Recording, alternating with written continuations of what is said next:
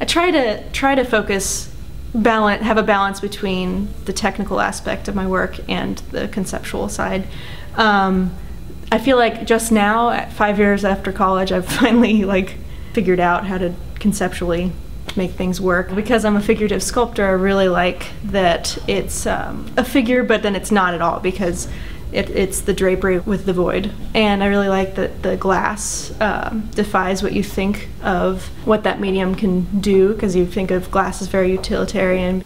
The most important things for a figure is getting the rib cage and pelvis set where they go. And if, once you get those set, you can do everything else kind of falls into place. So I'm like very much noticing like the pitch of the pelvis and the how the ribs are kind of punching out on the side here on the right side.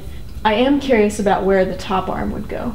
Because I one thing I would really like would be fun. Another step with this would be to have like a hand print or like an arm print on the top. Would be kind of fun.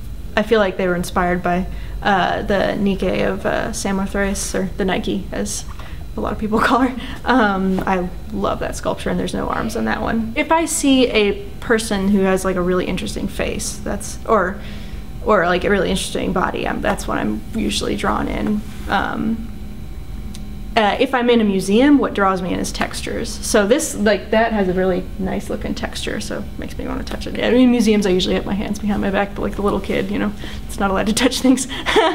um, so yeah, textures are probably in a gal like paintings too, not just sculptures that make me want to touch them and break the rules.